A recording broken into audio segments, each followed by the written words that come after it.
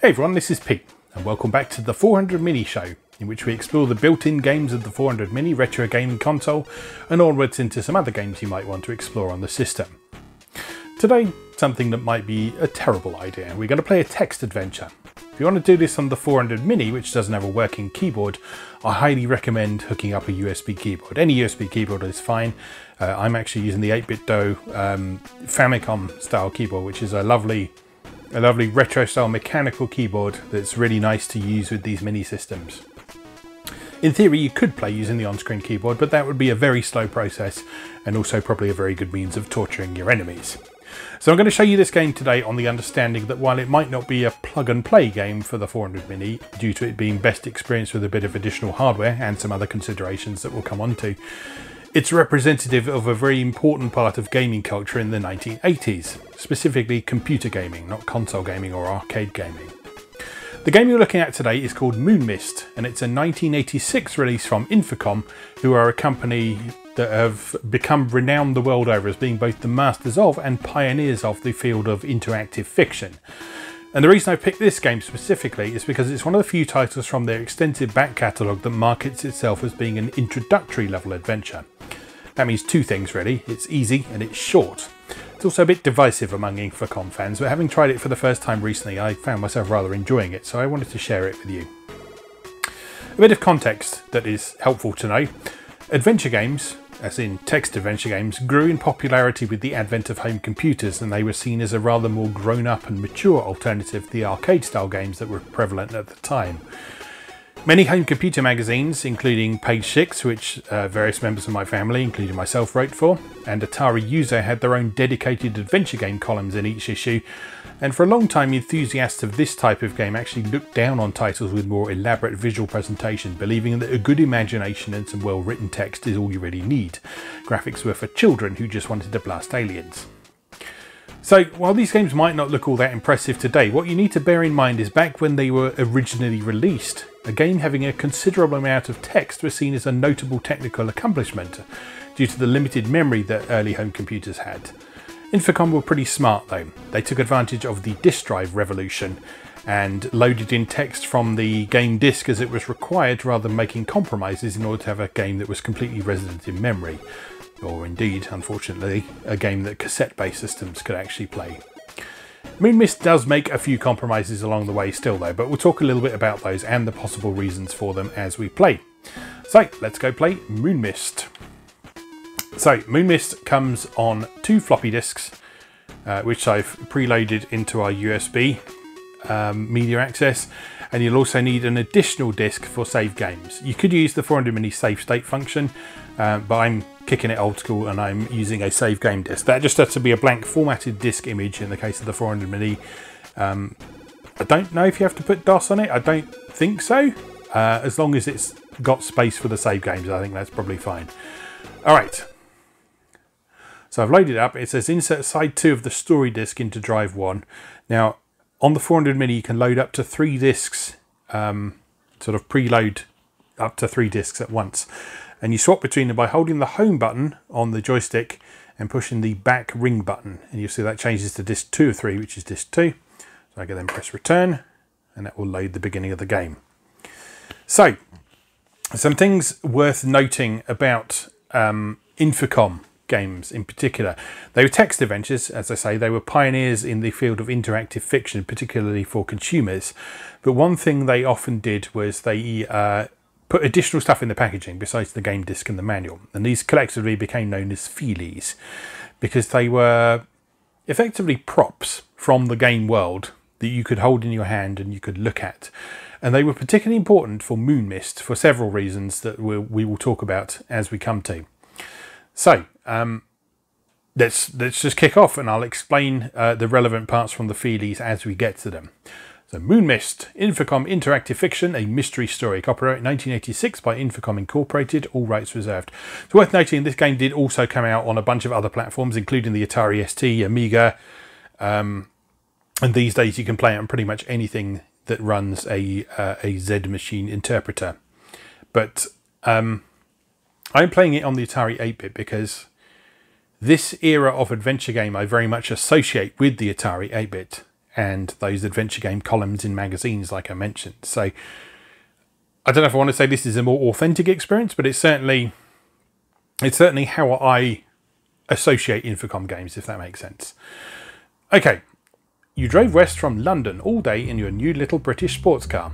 Now at last you've arrived in the storied land of Cornwall. Dusk has fallen as you pull up in front of Tresyllian Castle. A ghostly full moon is rising, and a tall iron gate between two pillars bars the way into the courtyard. What would you like to do? So if you've never come across a text adventure before, this is how it works. It tells you something, and then you tell it what you would like to do. So we are outside the gates of a castle where we are expected, and so I'm going to blow my horn. So I type blow horn. It takes a moment to access the disk and pull out the appropriate response. The dragon's eye glows red. A voice comes from a hidden speaker. It says, Please announce yourself. State your title, such as Lord or Lady, Sir or Dame, Mr or Ms, and your first and last name.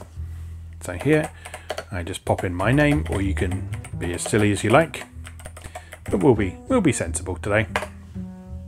Did you say your name is Mr. Pete Davison? Yes. And what is your favourite colour, Mr. Davison? Now, this is a surprisingly important question because Moon Mist has four routes uh, that you can take through the story. And they all start in the same way, but the details that follow are different. So you have a slightly different mystery to solve uh, depending on um, which colour you pick. There are four available. There's red, blue, green and yellow. I believe red is the easiest and yellow is the most complicated and difficult. Um, you can do them in any order. If you say a favourite colour that is not one of those things, it will pick one of them randomly for you. Um, but yeah, if, if you want to sort of optimise your playthrough, uh, you pick one of them at this point. So the only route I haven't done so far is yellow. So I'm going to pick the yellow route. Did you say your favourite colour is yellow? Just making sure that we are sure about that. Jolly good. The spare bedroom is decorated in yellow. Please enter. The red eye turns green and the front gate creaks open. What next? Drive through gate. Your headlights bravely pierce the gloom as you enter the courtyard. You get out of your car. The front gate closes and locks behind you. You are now in the courtyard. As floodlights blaze on, you look around. It looks even lovelier than it sounds in the tourist brochure. That phrase, that phrase we'll get very used to for reasons I will explain in a moment. The dark stone turrets rise toward the misty sky. Your new little yellow sports car is parked here. See, our favourite colour is yellow, so our car is yellow. Someone comes running out of the wing to greet you. She's a beautiful red-haired young woman of average height. You recognise her as your friend, Tamara Lynd. Pete, she cries with outflung arms. You sweet thing to answer my letter in person this way, and all the people I wrote about are here tonight for Lionel's memorial birthday dinner. After a warm hug, she asks, asks anxiously, You did read my letter and not just give it a hasty glance. Now, Tamara's letter is one of the feelies. In fact, it's two of the feelies because you have two letters from her. Uh, one is sort of explaining her situation, which is that she, she is your friend from America, but she came over to England and she met this guy called uh, Lord Jack Tresyllian, fell in love with him, and now they're engaged. But then, a little bit nearer to the time, you got this letter from her, which I will read to you now. Help! I think someone is trying to kill me. I know this sounds dramatic, but I really am worried. You know I've never believed in ghosts, but now I've actually seen the White Lady. The White Lady is a legendary ghost that is associated with Tresyllian Castle.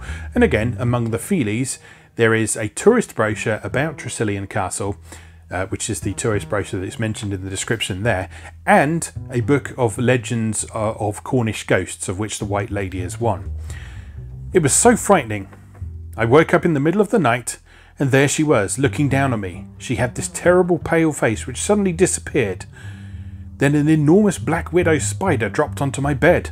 I screamed and shook it off my blanket, and by the time Jack got there, it was gone.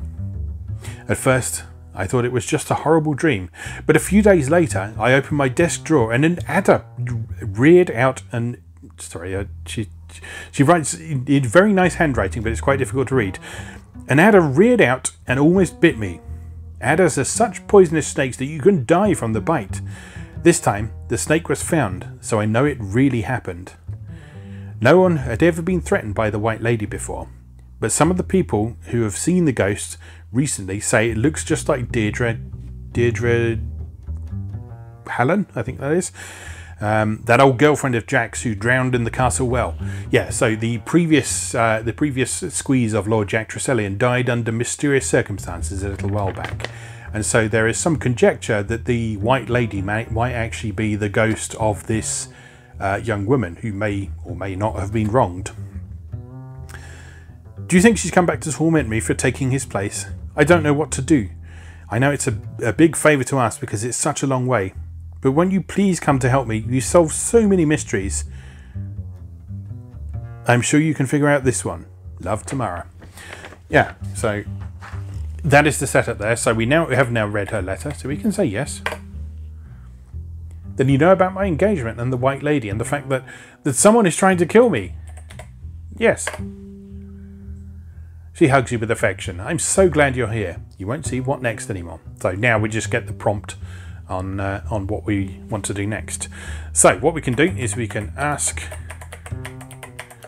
Tamara about the White Lady.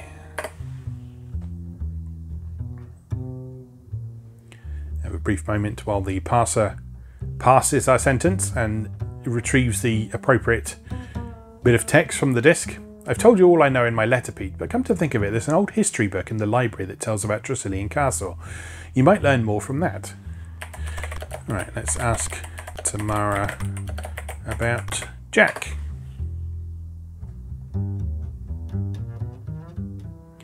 Another pause. This was this was part of the fun of text adventures back in the day. If you got a load time, something interesting was about to happen usually. Here comes Jack now, exclaims Tamara as he comes striding towards you. He's a tall, handsome, dark-browed young man in dinner jacket and black tie. My fiance, Lord Jack Tresyllian, Tamara introduces him. Jack, this is my friend from the States, Mr. Pete Davison. So you're that famous young sleuth whom the Yanks call Mr. Sherlock, says Lord Jack, shaking hands. Tammy's told me about the mysteries you've solved. His keen blue eyes size you up with a friendly twinkle. Yet his friendliness seems to be all on the surface. It may take time to figure out where his lordship's really coming from. We can talk later, Pete, says Tamara, taking her arm, but let's go in now so you can meet the other guests. Yes, do come in. Bolitho will see to the car and bring your luggage, says Lord Jack as an elderly butler appears. He has your luggage. Okay, enter the house. Tamara guides you into the foyer. As you enter the foyer, you're overwhelmed by the English past. Those barbarous times when Jack's ancestors had to shut themselves up in a castle have softened into gracious country living. Yet Tamara is clearly anxious. You are in the foyer. So, uh, we can carry on asking Tamara about things, or we can just uh, proceed where we know we need to go. So I'm going to head to the east. Tamara guides you into the drawing room. You are now in the drawing room. It looks even lovelier than it sounds in the tourist brochure. A tall, graceful older couple in evening clothes are chatting and sipping sherry. Lord Jack introduces them as Montague Hyde and Vivian Pentreath. Hyde smiles and bows stiffly, and Vivian murmurs in an attractively low voice, How do you do, Mr. Davison? Believe it or not, this young man is a famous American detective, Lord Jack tells them. Not a police detective, of course, Tamara adds as they both stiffen, but a solver of all sorts of mysteries in the States. We're hoping to find out who or what is haunting Tresyllian Castle. Okay, let's ask Vivian about the White Lady.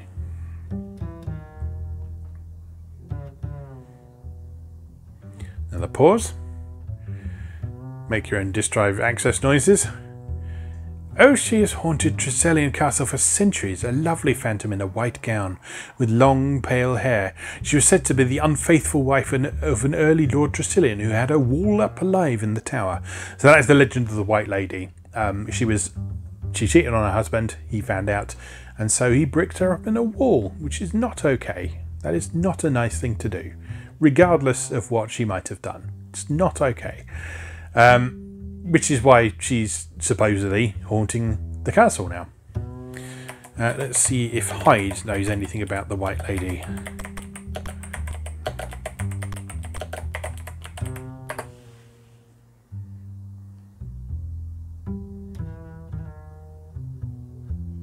Anything?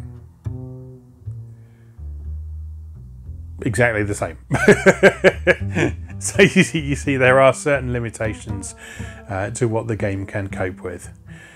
Okay. Um,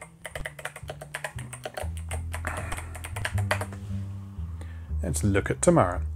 She's a beautiful red-haired young woman of average height. Tamara guides you into the new Great Hall. You are now in the new Great Hall. It looks even lovelier than it sounds in the tourist brochure. The hall is floored with black and white marble tiles. They've been worn smooth by footsteps over the centuries, especially near the archway to the drawing room. Bolitho is walking along. A young couple are dancing to the faint sound of rock music from a portable radio on a table nearby.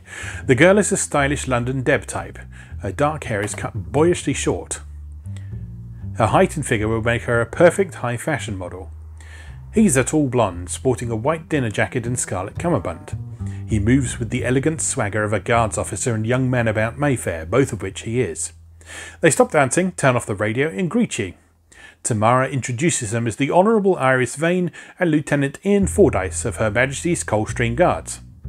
My dear, what a handsome addition to your guest list, chirps Irish. Her green iris, rather, not Irish. her green eyes sparkle flirtatiously as she offers you her delicate hand. Tell me, Mr. Davison, you one of those brutally fascinating American private eyes? Why, yes, I certainly am. Splendid. Do excuse me for interrupting, Tamara breaks in, but here comes Dr. Wendish. I'm sure Pete wants to meet such a distinguished scientist. A man is coming downstairs. He's a middle sized man in his 50s with spectacles and a grizzled moustache. Tamara introduces him as one of Lionel's oldest friends, Dr. Nicholas Wendish. He's carelessly dressed, dressed in rumpled evening clothes, but his hawk eyes peering at you through gold rimmed specs show ruthless intelligence. I read about one of your mystery cases while I was in New York last year, Mr. Davison, he probes. Is it a case that brings you to Cornwall? Bolitho walks upstairs. He is carrying your luggage. So yes, it is a case that brings me here. I see. Let's go upstairs. You two will have time to chat later, says Tamara, but you must excuse us now, Dr. Wendish, while I show Pete up to his bedroom. I'm sure he wants to freshen up for dinner. Tamara guides you up to the gallery. She says, I know it's confusing, but the British call this the first floor. We just left the ground floor. This was confusing to me the first time I went to the States and the ground floor was called the first floor, which I suppose makes more sense, but it's just what you're used to, I guess. The gallery spans the top of the double stairways. You can go east to your bedroom or west to Vivian's bedroom. Hallways lead to the northeast and northwest. On the wall is a series of oil paintings of Lord Jack's ancestors. Bolitho is walking along. He enters your bedroom. He's carrying your luggage. Now, in a lot of adventure games, you will probably want to make a map as you move around. Um, I found that in Moonmist, the layout of the castle is small enough and intuitive enough that you don't really need to make a map. Uh, there is also a map included in the feelies as part of the tourist brochure, so you can use that to find your way around as well. Although that does not include every single room that you can get into. It also does not include some secret passages you can find your way into. But for now, let's head into our bedroom by going east. Tamara guides you into your bedroom. She says you'll be sleeping in the same room that Queen Victoria slept in. You are now in your bedroom. The room is decorated in shades of yellow. You see your bathroom to the north and a cosy fireplace in one corner.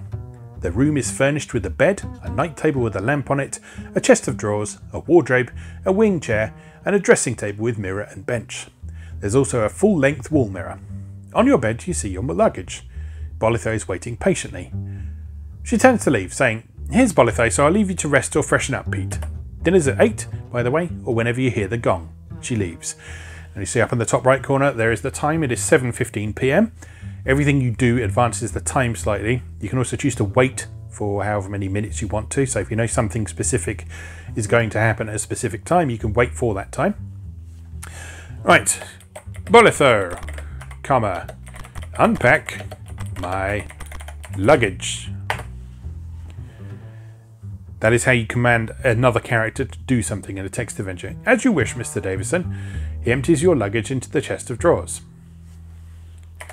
Ask Bolitho about the white lady.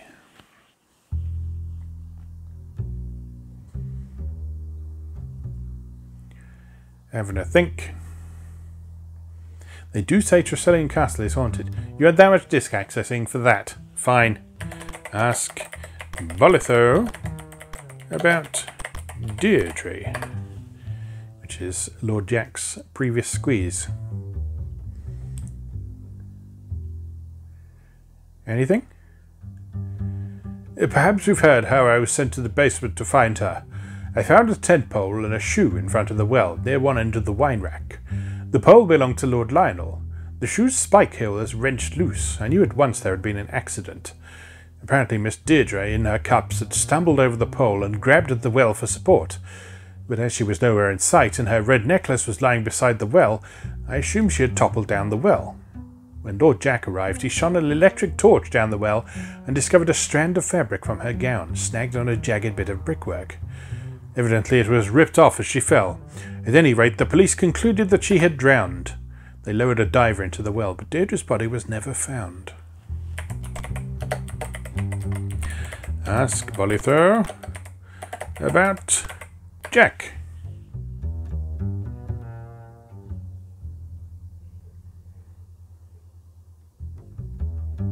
Anything?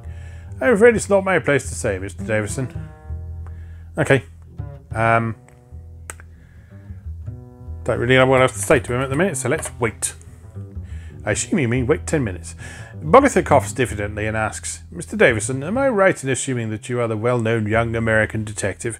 Why, yes, I am young and American, as you can hear from my accent. Then no doubt you are here to investigate the spectral figure which has recently been seen about the castle. I myself glimpsed the ghost just last night. Lord Jack and some guests were sitting up late, lounging and chatting in the new great hall. After they retired, I came upstairs to clean up and turn off the lights. As I entered the new great hall from the west, I saw the ghost on the far side of the room. You've seen that room, have you not? Yes, I have. I've been in there, even. Uh, to be precise, the ghost was just beyond the archway. He was bending over, groping for something on the drawing room carpet. He continues, The ghost must have heard my footsteps, for it stood up, flashed me a startled glance, and fled into the darkness of the drawing room. I pursued, turning on the lights, but the thing had disappeared. I went into the foyer, but it was not there either, and the front door was still locked from the inside. Interesting. Yes. I see. Uh, may I offer one last suggestion? adds Bolitho. Yes. Should you find yourself in any danger from my ghost, perhaps you could use this. Bolitho gives you a small aerosol device. Uh, by the way, Mr. Davison, should you wish to view yourself from all angles while dressing, you can do so by adjusting the wall mirror and the hinged side mirror of the dressing table. Without explaining further, Bolitho abruptly leaves the room. Okay, so there's only one thing for it. Take off clothes. Okay, my, what a fine figure of a man. We are in the land of fantasy after all. Let's head north into our bathroom. You are now in your bathroom. From the look of it, your bathroom was added in recently. It is comfortable and inviting, especially for Cornwall. Bathe. What do you want to bathe in? The bath, obviously. You see, that takes a bit of time. First, you drop everything. You're now squeaky clean. After toweling off, you feel nicely relaxed and ready to tackle the mystery of Tresyllian Castle. So let's head back into our room. Dress for dinner.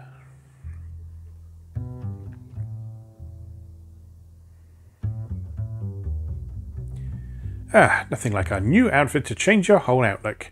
Right, now we can get to the business of investigating. You're in the gallery. Now, if you can't remember what an area looks like, you can either type look or you can turn on verbose mode, which means that room descriptions will appear every time you enter a particular area. Right, so let's head downstairs and follow up on that clue that Bolitho gave us. You're in the new Great Hall. It looks even lovelier than it sounds in the tourist brochure. Now, I said a little while ago that this phrase would come up a lot, and you've probably noticed it coming up a fair amount already. What it means when that comes up is that the full room description is in the tourist brochure. So, for whatever reason, whether it was they couldn't fit all the text on disc or they wanted to ensure that people had the feelies, either for copy protection purposes or just to encourage people to read them, um, yeah, a lot of Moonmist text is actually in the feelies. So, um, if we look up the new Great Hall in the tourist brochure, this is what it says. In the Middle Ages, entire families lived and slept in the castle's Great Hall. By the time the Tresyllian family built their new Great Hall, the room was used mostly for holiday entertaining and for conducting important business. When the local villagers arrived for Christmas dinner, excuse me, need a drink, a lot of talking in this game.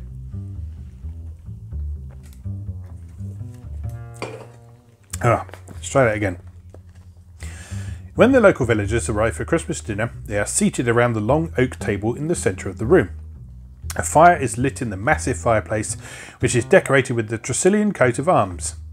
The elaborate wood carving surrounding the fireplace extends upward through a vast open stairwell to the gallery, where the portraits of Tresyllian ancestors gaze down upon the festivities. The suit of armour standing by the bronze doors was worn by Sir Geoffrey Tresyllian at Bosworth Field in 1485. You might think that a knight wearing this armour would feel protected. However, the metal is so heavy that even a strong man had difficulty walking, and fighting an enemy or riding a horse was nearly impossible. So, nothing that seems immediately relevant there, but in one of the routes that suit of armour is relevant, for example. Now, Bolitho told us that something funny was going on with the ghost. He was looking for something on the floor. So if we search the floor, the hall is floored with black and white marble tiles. They've been worn smooth by footsteps over the centuries, especially near the archway to the drawing room. Nothing suspicious meets your eye after a moment's scrutiny. Do you want to continue? Yes, I do. You don't find anything new there.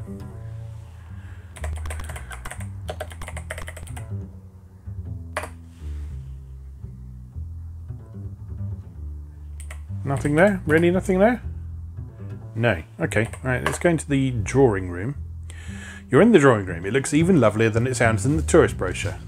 Vivian is studying colours and Hyde is examining objects. Now let's look up the drawing room in the guide. The airy drawing room is where the Tresyllian family meets to enjoy each other's company as well as that of their guests. The Dresden blue walls and furnishings soothe the senses and complement the elegant gold leaf frames around the many mirrors and paintings. The spacious feeling is enhanced by the tall French windows which overlook Frobisand's Cove to the east and the formal gardens to the north. The Belgian tapestry on the south wall is a treasured family heirloom. Woven of wool and spun gold, it depicts a maiden tending a unicorn in a beautiful rose garden.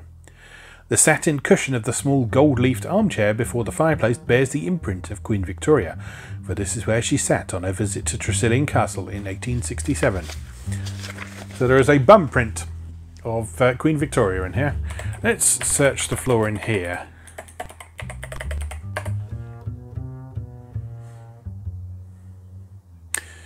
The carpet ends flush with the archway to the new Great Hall, where the footsteps of visitors have begun to wear it thin. It's a magnificent deep red, it's a magnificent red Brussels carpet with deep pile and a medieval design. Nothing suspicious meets your eye after a moment's scrutiny. Yes, we will continue. Suddenly, you notice a glittering speck. Probing for it with your fingers, you discover a tiny red jewel. Vivian says, It's time for dinner now. Let's go to the dining room. She opens the door for a moment and enters the new Great Hall make sure we take that jewel with us. You are now holding the tiny red jewel. Alright, let's go get ready for dinner. Ian and Iris are lounging and chatting. He walks west. The ground floor corridor goes between the two great halls to the east and west. Behind sliding doors, the dining room is north and the sitting room is south. Ian is walking along. He opens the door for a moment and enters the dining room. Alright, let's follow him. You open the door and close it again. You are in the dining room. This room is impeccably furnished, but it's too formal for relaxing. Tamara and Lord Jack and Vivian and Dr. Wendish and Ian are waiting patiently. Bolitho is walking along. A brooding bust of Lionel Tresyllian, sculpted by Vivian, is displayed in the corner. You see the sideboard and the dining table here. On the sideboard you see your dinner and a punch bowl. Bolitho enters backstairs. So get dinner. You look around and notice that no one else is eating yet. Hyde enters and nods to you. Iris enters and nods to you. Alright, let's let's sit down then. You're now sitting on the chair. Suddenly the dinner bell sounds.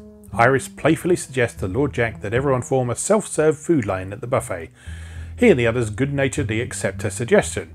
As Lord Jack takes his place as host, he notices a note lying on his napkin. He picks it up and reads it with a troubled expression. Several people glance at your outfit with approval. Lord Jack announces his engagement to Tamara, prompting various reactions from the guests. The dinner is excellent, with a flow of subdued conversation. Eat dinner. You take a bite and find it delicious. Now I'm curious about that note that Jack got, so let's ask Jack about note. I have it right here, Mr. Davison. Jack, give me the note.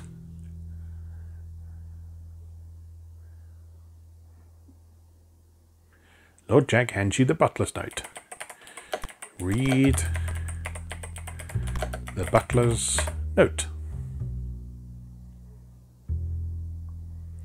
It says, Your Lordship, following instructions in your late Uncle Lionel's will, the other servants and I have left the castle after sounding the dinner gong. We shall remain away until tomorrow morning. I regret to inform you that Gladys, the upstairs maid, will not return with the rest of us. She wrote a note to your lordship explaining the reason. She told me that she put it on the writing desk in the sitting room. Signed, Bolitho. Okay, well that's interesting, isn't it? Let's just look around. You're in the dining room. You're sitting on the chair. Uh, we've seen all that. Lord Jack and his guests are startled as an unexpected voice suddenly speaks. Good evening, all, it says, then breaks into a low chuckle. Good Lord, Jack gasps. That's Uncle Lionel's voice. Dr. Wendish points to the bronze bust. There's where it's coming from. Let's just wait and see what happens. Lionel's voice continues. You are all here, I trust, to honour the wish expressed in my will, that the seven of you should dine together at Tresyllian Castle on the evening of my birthday. Lionel's voice continues. As you know, I enjoyed adventuring to remote corners of the world, and doubtless you've all heard of the loss of that valuable artifact which I brought back from one of my expeditions, have you not? The guests nod or mumble vaguely. They all glance towards Jack as if looking for an official response. You'll notice every time I type wait, it says, I assume you mean wait 10 minutes. Um, but if you look at the clock in the corner, it's not advancing by 10 minutes. That's because if you type in a wait command and something happens during the period of time that you're waiting, it will stop you waiting automatically. So you, you don't you don't waste time. You have to solve this whole game by 7 a.m. the following morning. Otherwise, you lose, basically. Um, it's not really explained very well why you lose when you reach 7am the following morning, but you, you, do. That's the amount of time you've got to finish it, which is plenty of time to be fair, um, but just be aware of that. Let's continue waiting. Lionel's voice goes on. The truth is that the artifact is not lost, but hidden. Although I am not yet ready to reveal what it is, I suggest you look under the punch bowl. Alright, let's do exactly that then. Look under punch bowl. You stand up first. You find the first clue underneath, so you take it. Read the first clue. The first clue shows a photo of singer Pearl Bailey.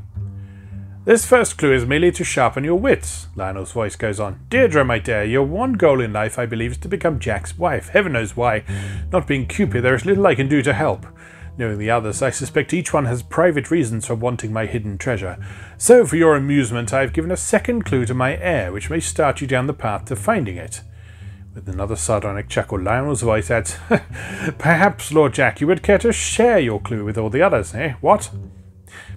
That little bit there, the eh what at the end. I've seen Americans review this game and not understand that eh what is uh, an affectation of the posh um, particularly in um, British literature. It's it, it's a sort of stereotypical thing that, that some people do actually say. It's like, oh, that's marvelous. Hey, what? It doesn't mean anything. It's just a it's just a sort of I guess you call it like a non-fluency feature almost. It's just it's just a means of filling additional space in a sentence. Um, in the same way that you in the same way that you say um or uh, or whatever or, or fart for attention. I don't know. Anyway, um, Jack, share your clue.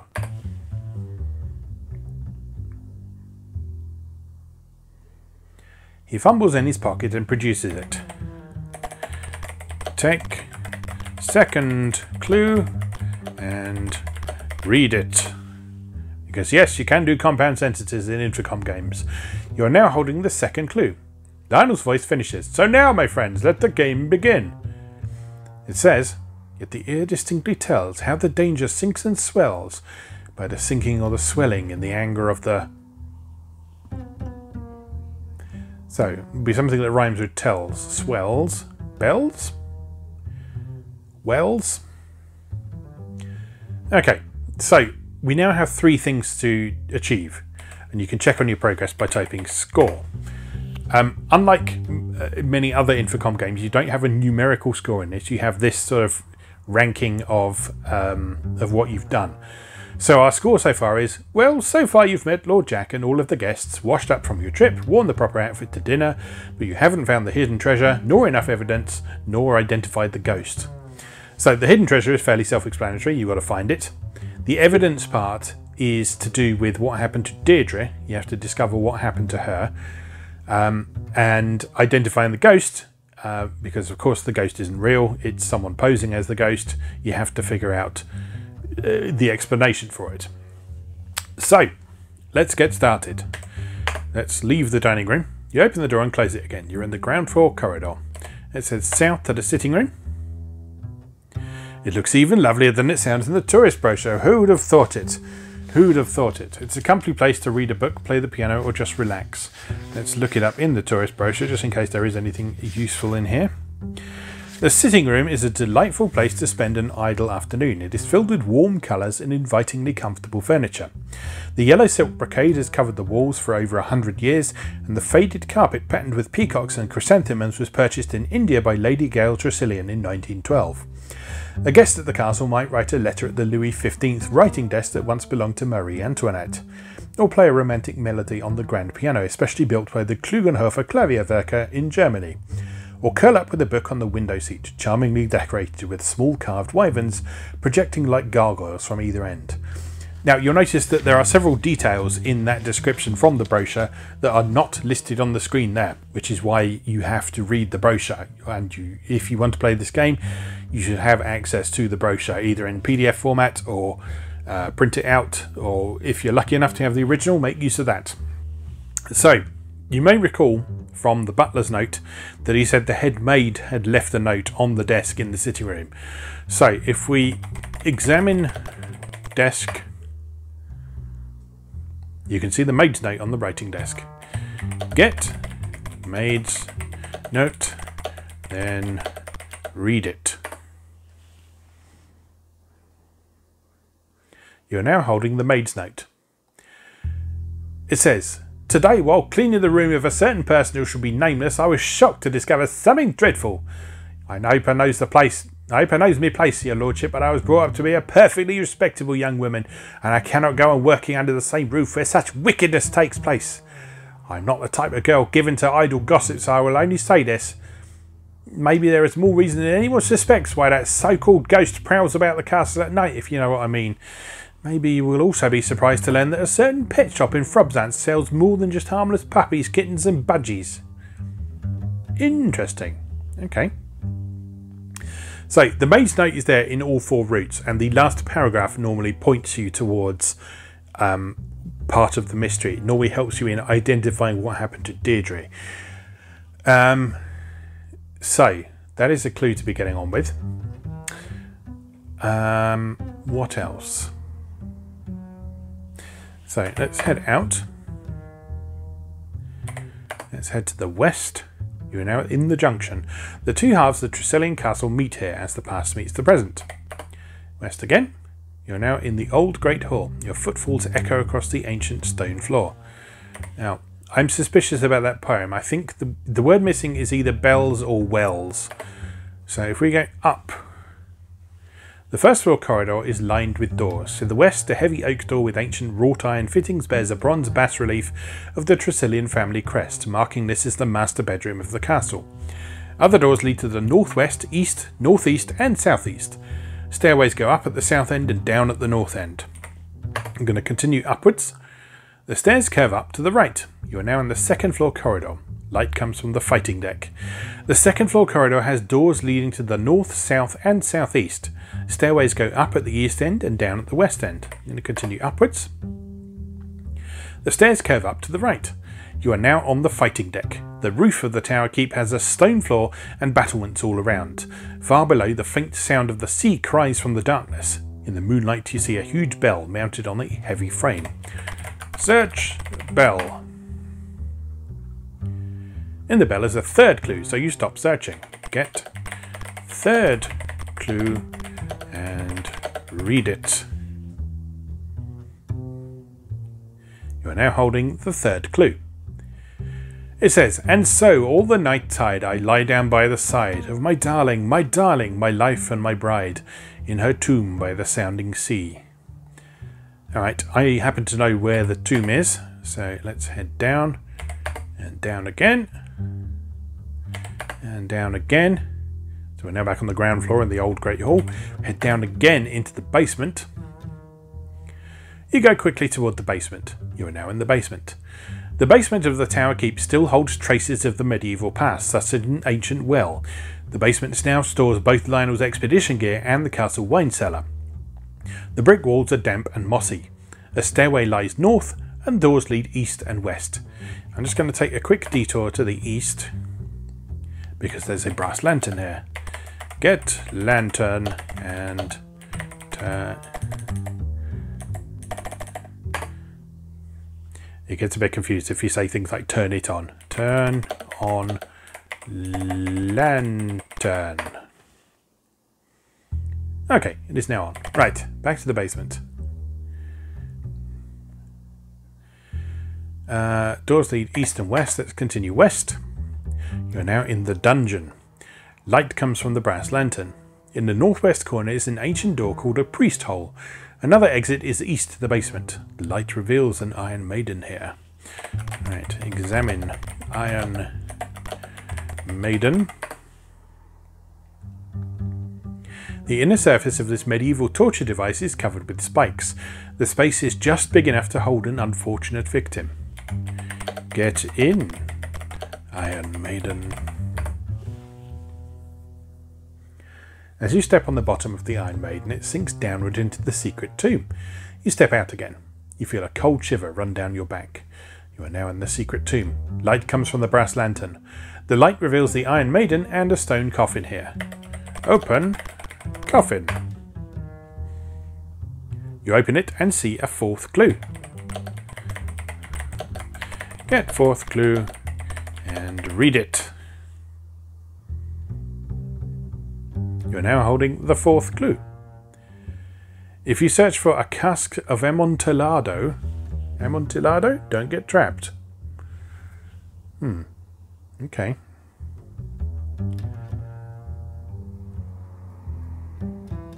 Interesting.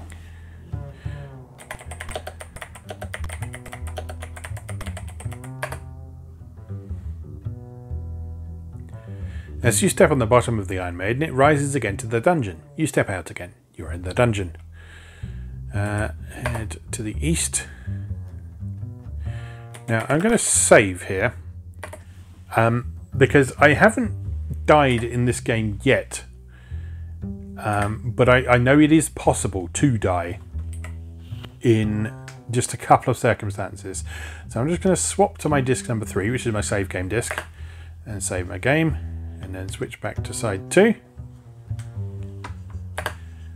and continue. Right, um, search for a cask of Amontillado. I don't know the word cask. Well, that's helpful, isn't it? Read fourth clue. If you search for a cask of Amontillado, don't get trapped. Search for Amontillado. I don't know whether... You're really not helping me out here. Hmm. Search wine rack.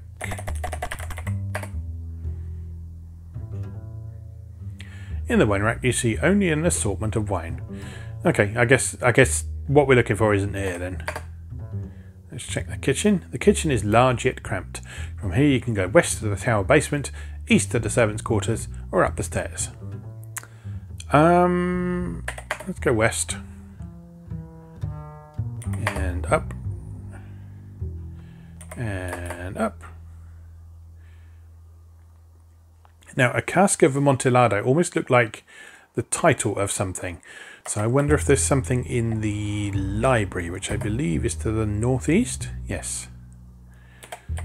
Search bookcases. Some of the books date as far back as the 16th century. Although some are fiction, most of the books are scientific, covered with vellum or leather. Some are in foreign languages, and many have pictures of skulls or spirits. A history book catches your eye. Get history book. As you move the history book, the bookcase creaks open, revealing a secret passage.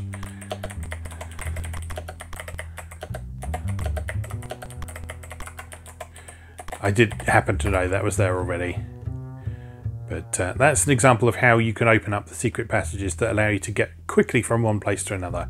I say quickly, it's not really that much quicker than just going there, but if you, for some reason, you need to stay out of sight, uh, you can do that.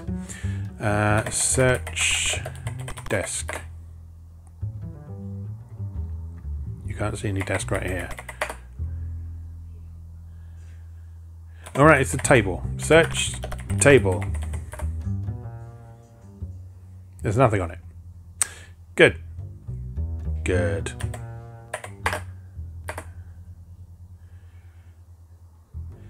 Alright, what about Northwest? You're now in the study. Light comes from the brass lantern. Lord Jack's private study has rich mahogany furniture and hunting prints on the walls. Don't see anything useful there. What about to the east? You're now in the office. Light comes from the brass lantern. This small office gets little light and less air. In one corner is a computer. By the fireplace there is a tall, old-fashioned desk with an inkwell and a tall stool. Search desk. You can see the inkwell on the old-fashioned desk. Good. That is the treasure in one of the routes, not this one. Uh, examine stool. You look over the stool for a minute and find nothing suspicious for now.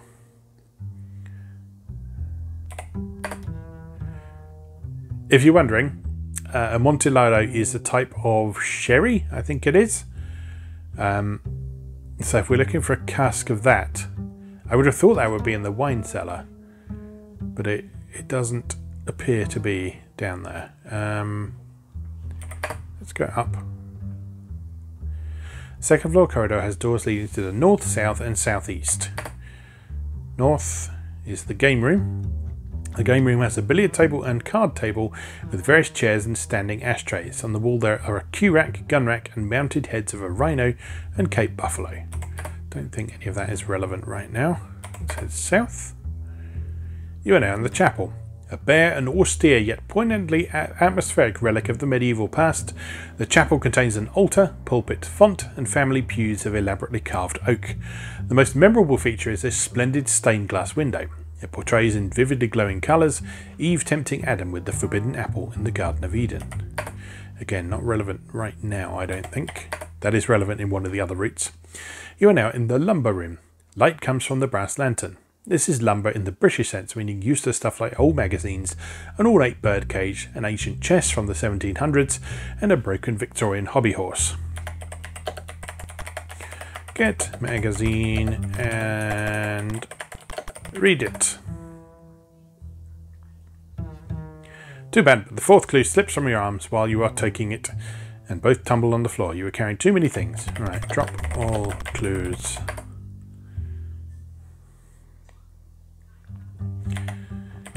get magazine and read it. You're now holding the magazine. This is an old copy of Punch, good for a laugh or two. Drop magazine and take fourth clue.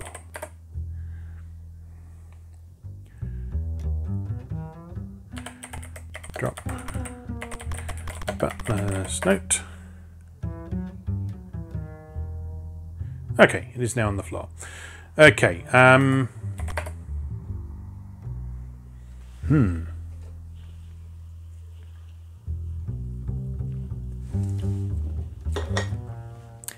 I can see why this is said to be the the hardest, um, the hardest of the the routes through the game. Because the, the the clues are a lot more obtuse in this one.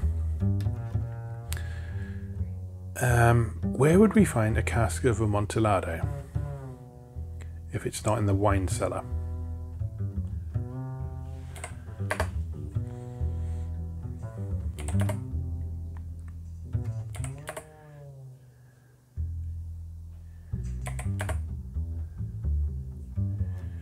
Is it outside? You open the door and close it again. You are now on the path. This is an area behind shrubbery by a steep cliff overlooking the sea. In the dim light, you can barely see a path leading north along the cliff.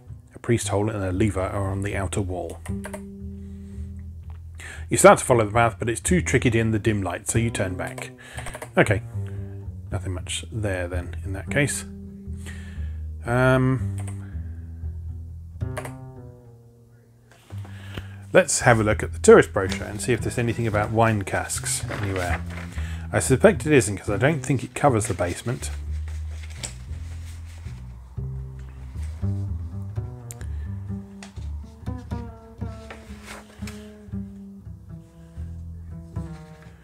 No, nothing about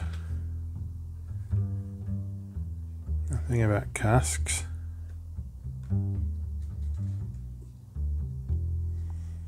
In the dining room from the look of things.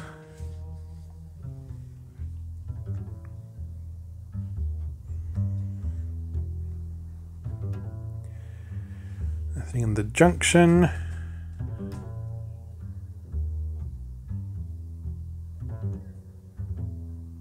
The old Great Hall has some mementos from Lord Lionel's travels, um, which includes an oil painting of the Battle of Blood River, an exquisite carving in Chinese jade of a rather ape-like pre-human skeleton, probably some ancestor of modern man, a giant oyster shell from the South Pacific Ocean, its interior surface mysteriously lacquered jet black, and a papier-mâché figure of an Amazon Indian dressed in the weird costume of a tribal witch doctor performing the elaborate secret ritual by which the anesthetic drug used on the tribal blowgun dance is extracted from the rare, rare moonflower plant. Okay, nothing relevant, unfortunately.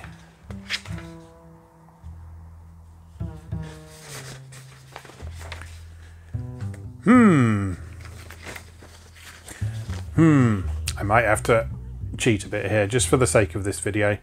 So I'm going to look it up on the Universal Hint System website, which I, I highly recommend to anyone who gets stuck on a game like this. So Moonmist UHS. Solving the crime. Yellow. The fourth clue. Have you ever read any Edgar Allan Poe? Namely, as the clue suggests, The Cask of Amontillado. Oh, it's an Edgar Allan Poe book. In that story, someone gets walled up in a basement. That can never really happen, could it? Why don't you find out? Okay.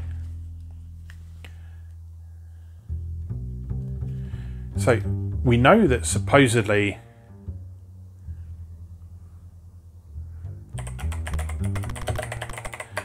We know that supposedly the White Lady is the um, the former Lady Tresyllian who was walled up in in something. Search Lionel's gear. You look over the gear for a minute and find nothing suspicious for now. Well, the brick walls are damp and mossy, and some bricks look loose. Look bricks. I assume you mean look at it, not look in it or look for it, nor any other preposition. There's a bunch of loose bricks in the wall. Pull loose bricks. You manage to pull them down into a pile on the floor, making a large hole in the wall. Look at hole. Through the dusty air, you can see only dark inside, but the hole looks big enough to climb through. Alright, here we go. Into the hole. You are now in the secret crypt. Light comes from the brass lantern. This space at the bottom of the tower is so gloomy and musty that you should be glad there's an exit to the basement. The light reveals a skeleton here. Examine skeleton. Hanging on the neck of the skeleton is a black pearl necklace.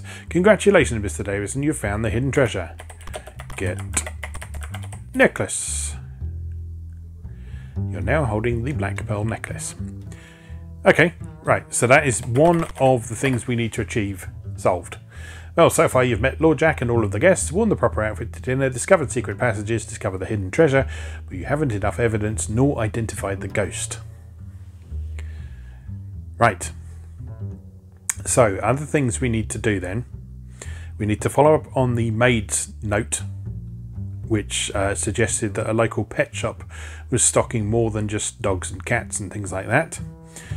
Um, and we need to figure out what this jewel is. Examine jewel. You look over the tiny red jewel for a minute and find nothing suspicious for now. Okay, well the the only place the only place I've seen I'm not in it. Okay. Uh, where am I then?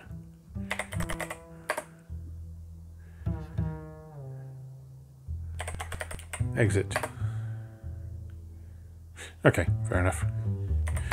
The only place I know that there are animals is the game room, I think.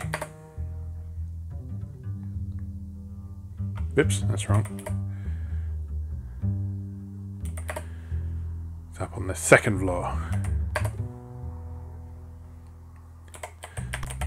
Search buffalo. You look over the stuffed buffalo head for a minute and find nothing suspicious for now. Search rhino. You can see nothing unusual inside it. Okay, well that's that then. Um, I wonder if wonder if that was a reference to the Black Widow and the adder that Tamara was attacked by.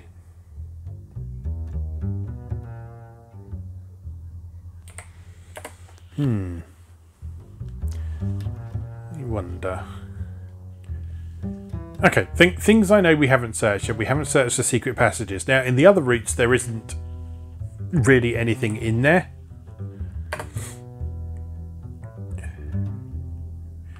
That doesn't necessarily mean something will be in there now.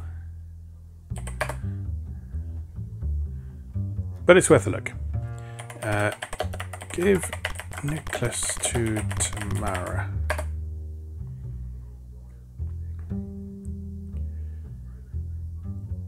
I thought she was here. Is she not?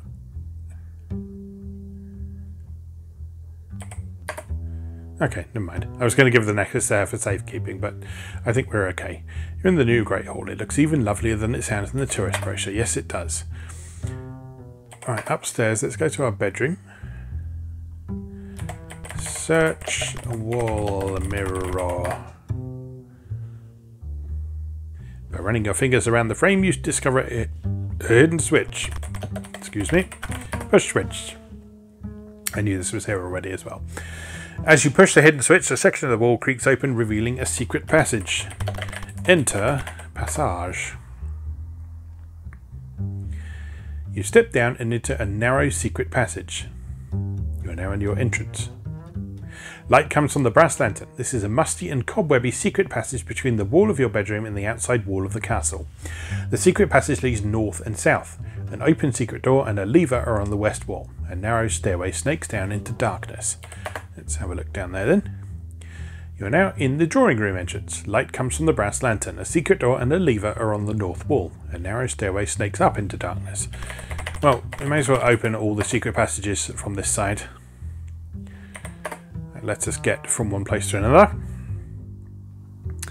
Uh, north. You hear a scurrying sound underfoot.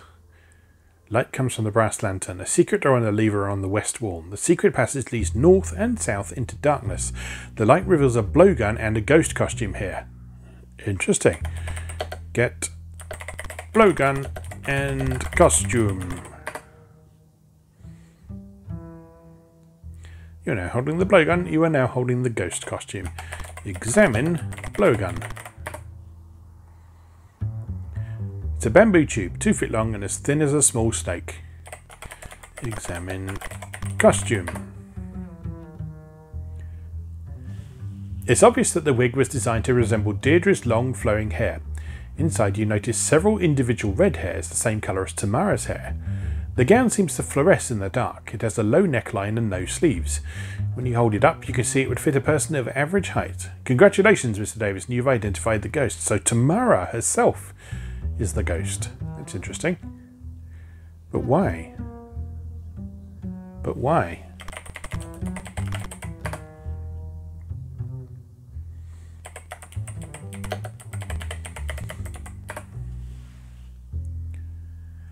You enter the room cautiously after a preliminary peek. No one is there. You are now in Iris's bedroom.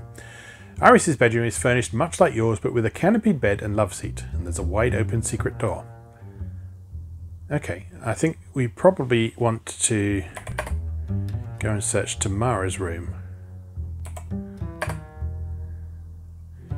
See if that gives us any clues as to why she's pretending to be the ghost and why she summoned us here, considering that she's the ghost.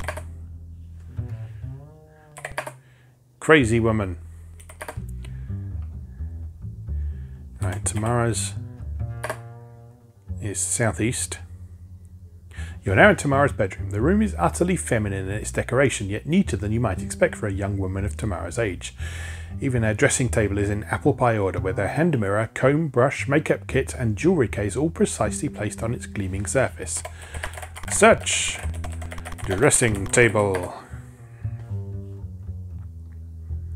You look over the dressing table for a minute and find nothing suspicious, for now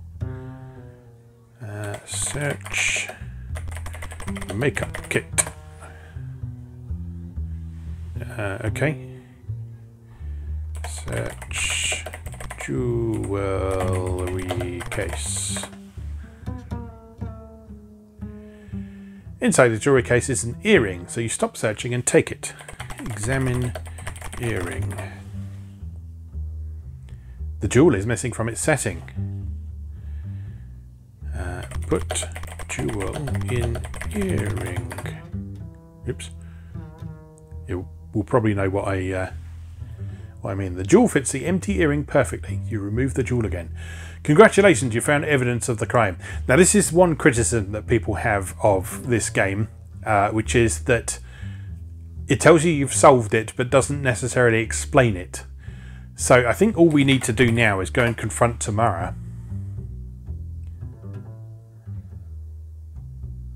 Ah, we don't have enough evidence. Okay, so we still need to find some more. Search jewelry case. See if there's anything else in there. Sometimes you do have to search things uh, more than once. In the jewelry case, you see only an assortment of jewelry. You freeze as the door bursts open and Tamara appears. She stares at you with a shocked look. Well, I didn't expect my room to be searched, she says angrily. She enters the door and closes the room behind her. Apologize. I assume you mean Tamara. Apology accepted. Okay, ask Tamara about earring. She flinches a little before answering. I just don't know, Pete. I think you're lying.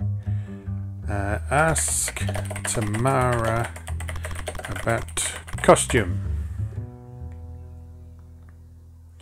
I've uh, never seen it before. You are lying to me. But I don't know how to prove it. Aside from... Aside from... I don't know. Show earring to Tamara. She flinches a little before answering. It looks like an earring to me. Accuse Tamara? It would be difficult to convict her with the evidence you found. If you hope to put the culprit behind bars, you will need more convincing proof. Okay, yeah, so we need something else. We need something else to prove what's been going on. Um, and how we do that.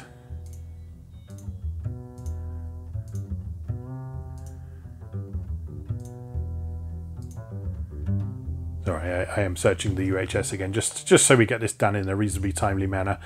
Um, must be something else in our room. Search bed. Tamara prevents your action. Whew. Okay. Um, we need to get her out of the way. You open the door and close it again. Tamara opens the door for a moment and follows you. Are you that stupid? You are that stupid. Good. Search bed. Neatly under the bed is the journal, so you stop searching and take it. Get journal and read it. You're already holding the journal. This is a journal of Lionel's South Pacific expedition. As you leaf through it, you find a description of a treasure, a black pearl necklace. Okay, that's what we found. Search bed. See if there's anything else. Neatly hidden under the bed is Tamara's receipt, so you stop searching and take it. Read receipt. It's a receipt for the purchase of an adder from a pet shop in Frobzance. Someone has written the word iris on it and they've viciously crossed it out. Congratulations, you found evidence of the crime. Is that enough? Because that's pretty damning. But you haven't arrested the villain. Right, let's go get her. Where are you? Find Tamara.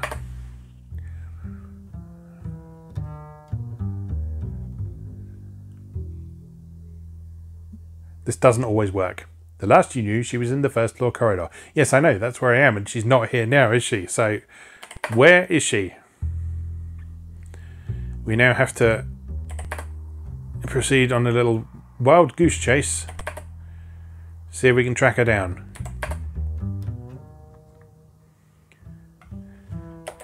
Jack, where is Tamara? I don't know if this works. To locate something, use the command find something. Jack, find Tamara.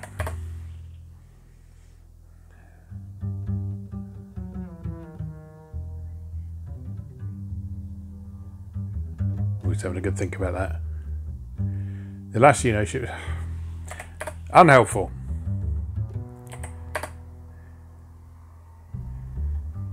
Where are you? Where are you?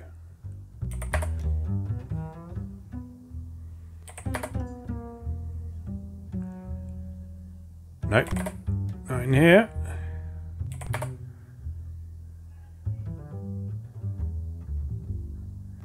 Nope.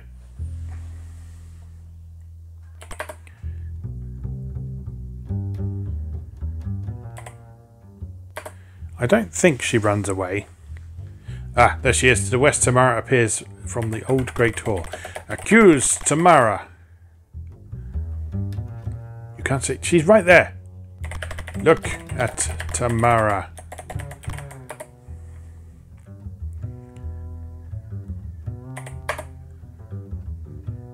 Tamara is walking along. She enters the ground floor corridor. right, mean, I've got to follow her until she stops wandering. Tamara is searching. Alright, she's stopped. So accuse Tamara. At first she denies everything, but when you tell about, tell her about Tamara's receipt, she rushes at you. Suddenly Bolitho appears and grabs her from behind, saying, I'll guard this villain for you. And Tamara glares at you and confesses to fraud. Congratulations, Mr. Davison. Would you like to read the author's version of the crime? Why, yes. Yes, I would. Tamara doubted that she could hold Lord Jack's love. She was both jealous and fearful of Iris as a rival who might someday take Jack away from her. So she tried to defame Iris by making it appear Iris was a vengeful ghost bent on killing Jack's new love, Tamara. Deirdre's death was purely an accident. Congratulations, Mr. Davison, you've won the game.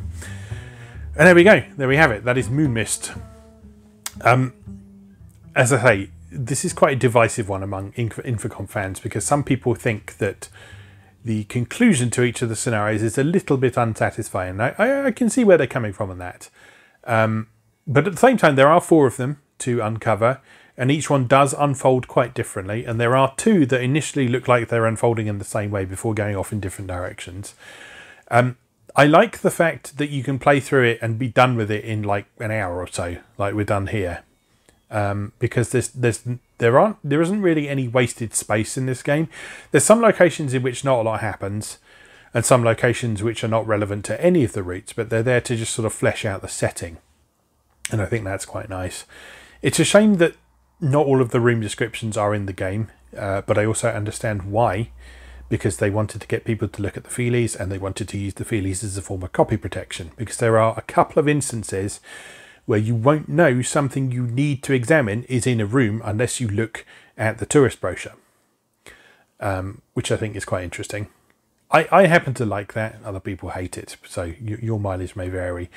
But anyway, yes, that is Moonmist, the Atari 8-bit version uh, of a classic Infocom adventure. I hope you enjoyed that. I know this was a fairly unconventional video and there wasn't really a lot to watch besides some text scrolling up the screen. Um, but hopefully hopefully that was reasonably entertaining uh, and that you enjoyed it. I certainly enjoyed playing through it, and I have now finished all four routes of Moonmist, so I can set that aside, satisfied that after 42 years on this earth, nearly 43, I have finally finished an Infocom game for the first time. it's a proud moment for sure. Anyway, just remains for me to say, as always, thank you very much for watching, and I'll see you again next time.